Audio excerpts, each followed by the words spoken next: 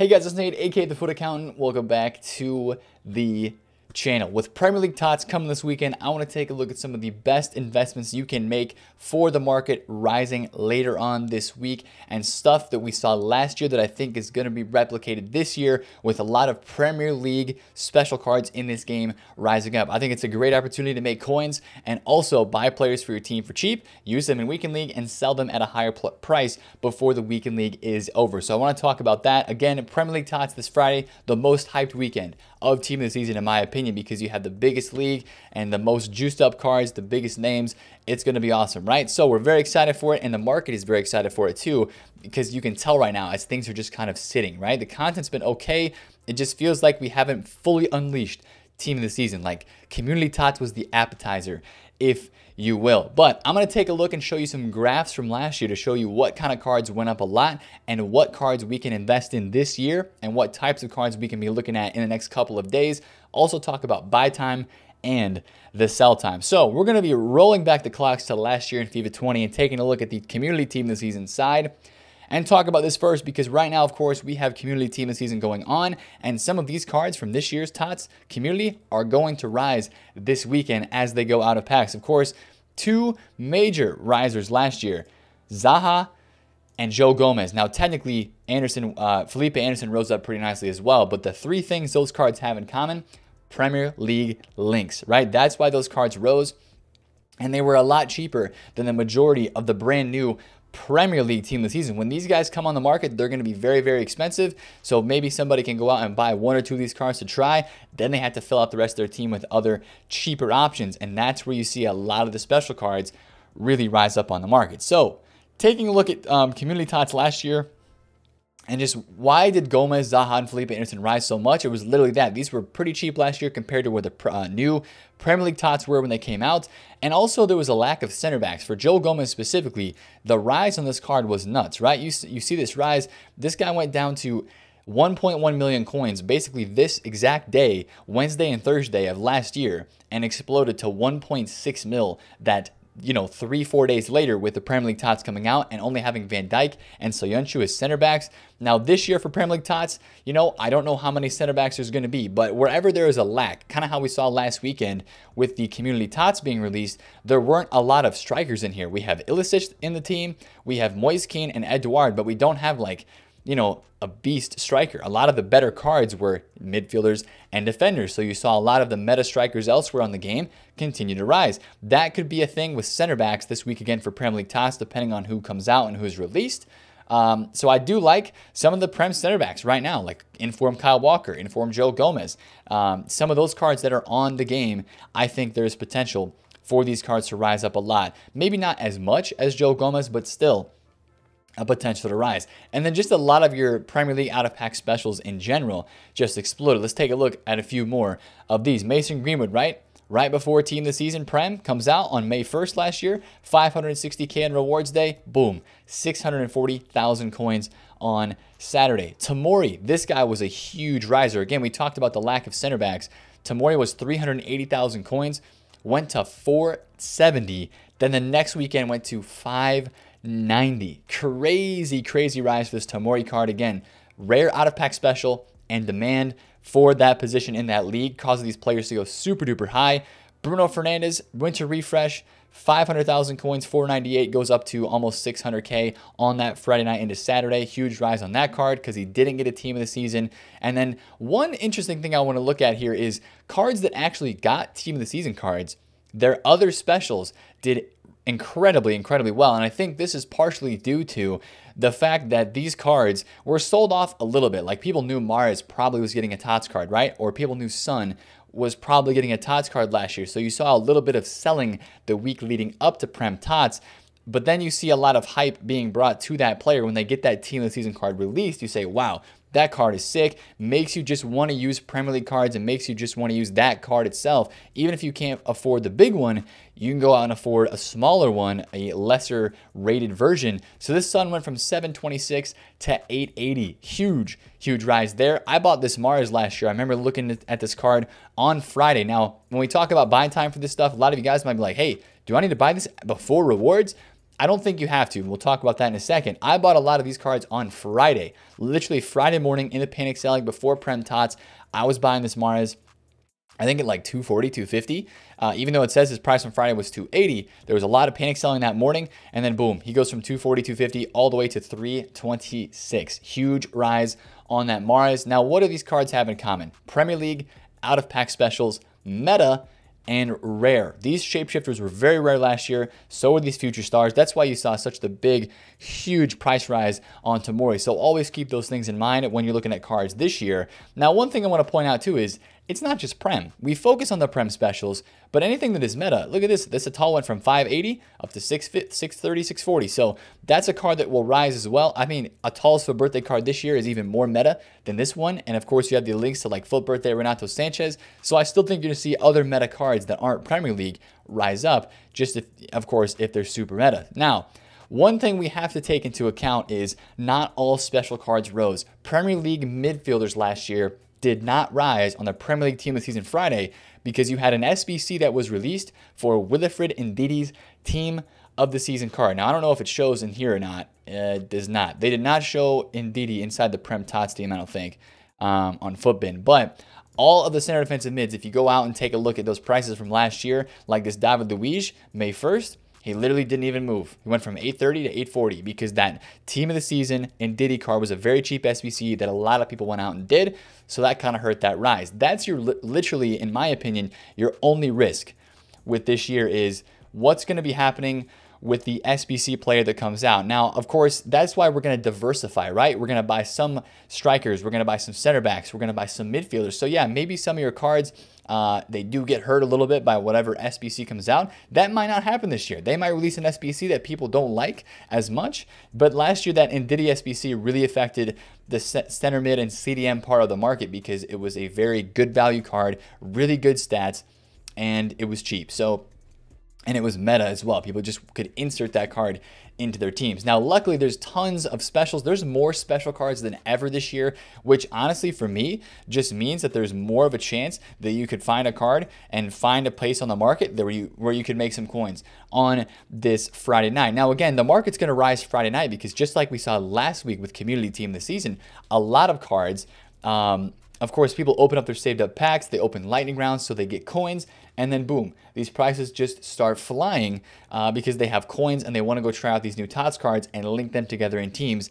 And that's why these Premier League cards do go up. Now, one also quick note, it doesn't you don't have to buy just Premier League cards, right? We looked at Atal. There was other stuff that's going to go up on the market too. Even base Mbappe, base Neymar, these cards rose a healthy bit on that Friday night base mid icons, prime prime icon moments as well. Just like we saw last week on Friday night when the market boomed, it was all across the game. So I do think that you can still look at baby icons, mid icons, like this Maradona went from 1.3 mil uh, to 1.4 very easily on that Friday night of Premier League team this season. So let's talk about this year, right? And let's start with talking about this year with the community tots cards because Wan-Bissaka and Ndombele, Barnes, potentially, potentially Areola. I'm not so sure about him. But these main three Premier League cards are going to be cards that drop down in price in the next day or so with, of course, pack supply from UEFA marquee matchups, pack supply from regular marquee matchups, and rewards and the guaranteed community tots SBC whenever that's going to be released. There's going to be a window in the next day or two specifically for these community cards if you see their prices take a hit, right? Wan-Bissaka was 535,000 coins like his lowest, and Ndombele was like 270. Barnes is like 450. Barnes is very, very rare, and I feel like this card is undervalued. I know he doesn't have the best body type, but that is a player that a lot of people will see on FIFA and be like, man, I want to get involved. So all I'm saying is I think if these three cards reach a low, I think they could be good buys. Now, I think some of the other parts of the Community Tots team like Alaba, Mukiele, Tagliafico, Valverde, they can rise out of packs as well. But if you focus on those Premier League cards, that's where a lot of the hype could be, of course, with this weekend being Prem Tots. So watch these cards over the next 24 to 36 hours for a potential time to buy them if you do see a price drop people are going to be quick to invest in this stuff. And that's one kind of thing I'll throw into the wind as a caution right now is people are going to be very quick to buy up these Premier League out of pack going to be a very, very popular investment.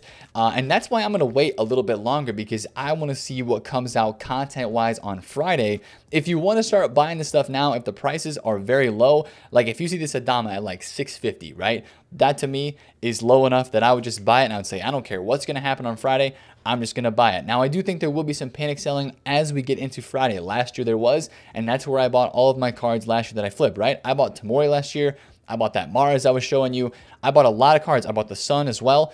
Those cards I actually bought on Friday, and they were some of the lowest prices we had seen all of that week leading up to Prem Tots. So I do feel like there is going to be some more panic, of course, with leaks that will come out because there are going to be inevitably some leaks about Team of the Season cards that do come out, and that hype is really going to start building. So you might see a few people selling cards even after the content drop, like we saw last week with Community. People saw the new cards that came out and they said, hey, I'm going to sell something so that I can go and try out one of those new players because these guys are pretty cheap. So Still, I would look at prices now because if there's stuff that is low, I still think you can make a buy. And I think there will be prices that you can tap into. Like this what if Kanté card. Kanté is probably not getting a team of the season, right? Um, and it's Kanté. 859,000 coins. I mean, this guy's been closer to 900,000 coins. He was 947 this morning. This guy's actually down a lot today. Is this, uh, was he selling at 950 last night? 929, 944, 929. It's Kanté, right? He's going to sell 930. So, like, this Kanté card right now is not that bad of a deal. If we look on his daily graph, or what was he on Monday? He was 830, 860. So, like, this card for Kanté right now, 859, that's not a bad price at all. That'd be a price that if, you know, I've got a couple million coins just ready to go for some of this stuff later on this week, that's a price that I would find right now. And I'd say, hey, you know what? I'm totally fine with it. Now, is he actually 859? He is not. See, that was a nice undercut on the market, and he's actually 940K. So, unfortunately, that is not there. But if that was there, I would be snagging it because that would be a, a great scenario of that card is just too cheap right now compared to where he was. So, look across this game, right?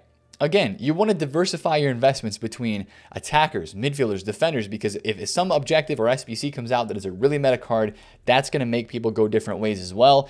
And maybe use that card that comes out instead of an out of pack special. Um, so kind of keep that in mind too.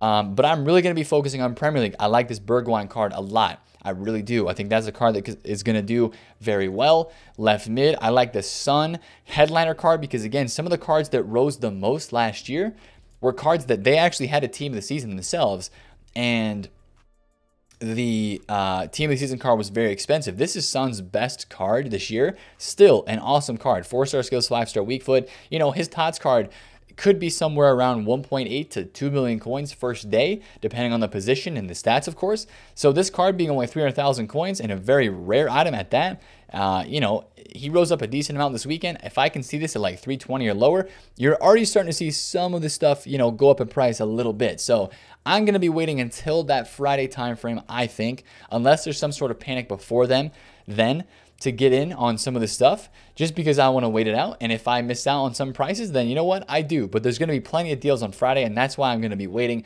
just to minimize my risk and also so that I can trade with other things before we get there. But if you see low prices again, like that Kanté that we were talking about, or um, even like yesterday, Freeze Mané was 860K and now he's 955. So people got involved with that. That is already inflated already with an investment.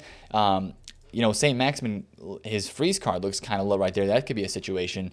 Um, this Bruno card would be a good one. This Rashford would be a good one. Even this KDB, right?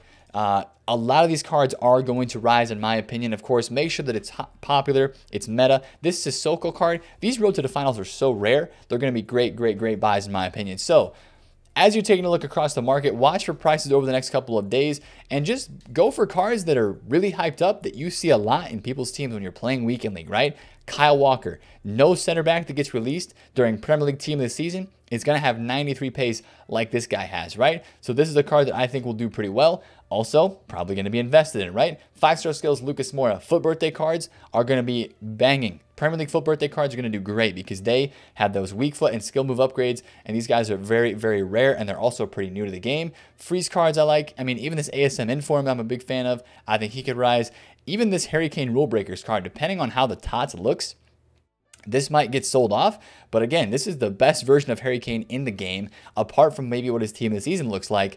And this one has like the huge agility balance boost. So if you want to use Kane and Son in FIFA or, you know, depending on what his TOTS card looks like, if how expensive it is, that could be a good buy. I think Adama Traore is going to be a smashing buy as well. I think he's going to go up a lot. This Saka should be pretty good. Salah's definitely getting a team of the season, so we'll watch for panic selling on this item and then possibly a bounce back because I think Salah's TOTS card is going to be very high rated and it's going to be absolutely ridiculous. And if they upgrade his weak foot to a four star weak foot, that would be insane. And I think it would make it more expensive and just draw a lot of hype to this Salah. So basically, what I'm going to be looking for for buy time is over the next couple of days into Friday, but I'm probably going to end up making some of my buys on Friday morning with the panic selling either before content or even after content. And then sell time for a lot of this stuff is going to be later.